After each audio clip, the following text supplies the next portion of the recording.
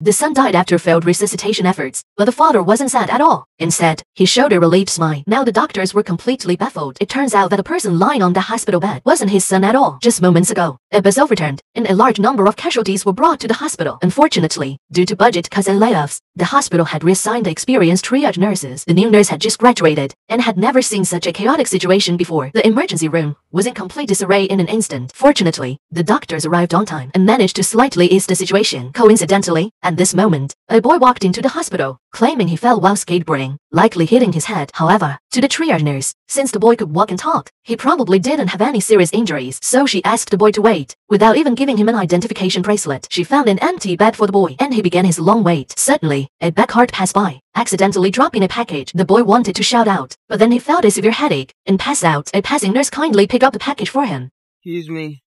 This isn't mine. Meanwhile, the boy's phone started ringing, but just as